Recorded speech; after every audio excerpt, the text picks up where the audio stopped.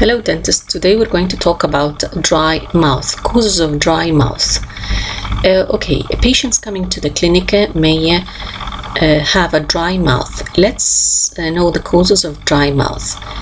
Uh, this patient could be uh, on drug therapy, okay, or he's taking uh, the following drugs anticholinergics, antihistamines, anti-reflux agents, tricyclic antidepressants. So patients taking these drugs may have dry mouth. Also anxiety may lead to dry mouth. Radiation, patient exposed to radiation may damage the salivary glands and lead to dry mouth. Immune related diseases such as Sjogren syndrome, also these patients are liable to have dry mouth. Dehydration, uh, reduced water intake. This leads to dry mouth. Diabetes. Patients with diabetes may also have dry mouth. Patients with renal failure also have dry mouth.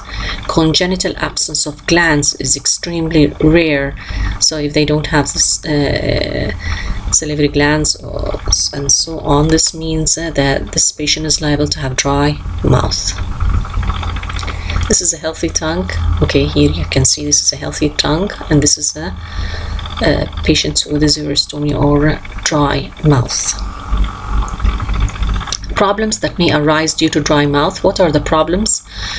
Uh, in in this uh, case, patients with dry mouth have salivary function. Uh, their salivary function is reduced by more than 50 percent. These patients have difficulty talking and swallowing and they have altered taste when they eat or uh, they have their mouth uh, uh, will not function properly. This means they will feel the, a change in the taste of food. Uncomfortable mouth they have uncomfortable mouth. Unretentive dentures if those are old people and they are wearing dentures they will not be able uh, to have a proper denture. uh, retention.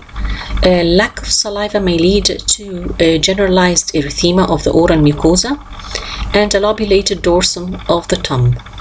tongue. Predisposition to infections of the oral cavity, including angular cheilitis, oral candidiasis, cervical caries, recurrent caries around the existing restoration, episodes of suppurative salinitis, salinitis. This is a patient with xerostomia. Xerostomia, can you see she has dry lips here and the tongue? Can you see how does it look like? Is It is dry, completely dry. And we call it xerostomia. So today we talked about the causes of xerostomia. I hope that this uh, um, topic was uh, of benefit to you. I'm sure it will help uh, a lot of students. Thanks for listening and bye for now.